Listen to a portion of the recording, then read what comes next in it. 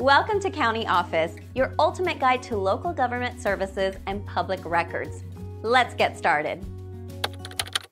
How long does medical power of attorney last? A medical power of attorney, also known as a healthcare proxy, is a legal document. It allows an individual to appoint someone to make medical decisions on their behalf. The duration of this authority can vary based on several factors. Typically, a medical power of attorney remains effective until the principal revokes it. This revocation can occur at any time if the principal is mentally competent. If the principal becomes incapacitated, the document generally remains in effect.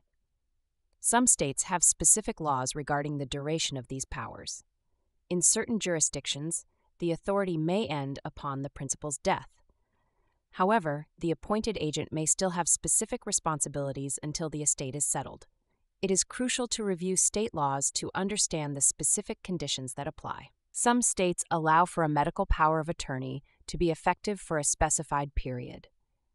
This can provide clarity for both the principal and the agent.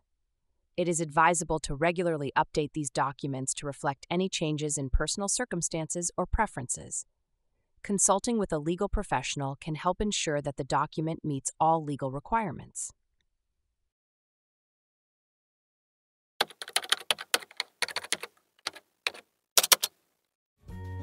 To learn more, check out these links, which you can click in the description below.